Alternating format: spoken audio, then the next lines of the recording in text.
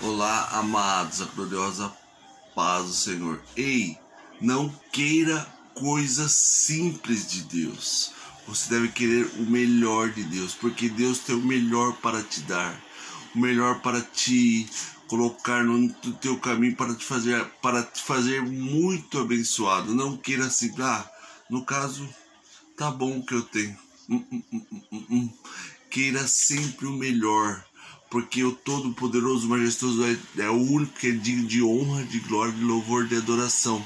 Não queira ficar na mesmice. Ah, vou querer isso, isso, isso. Hum, hum, hum, pois Deus tem o melhor para você. Porque você é filho do Deus vivo, do Deus protetor, do Deus criador dos céus e da terra. Em nome de Jesus, queira sempre o melhor de Deus. Para honra, glória, louvor, adoração do nosso Deus se você assim o querer, Deus vai te dar. Em nome de Jesus, não pare de clamar, de orar, de buscar fazer a vontade de Deus. Fazendo isso, Deus vai te abençoar em nome de Jesus. E queira sempre o melhor. Em nome de Jesus, uma boa tarde. Tchau, tchau.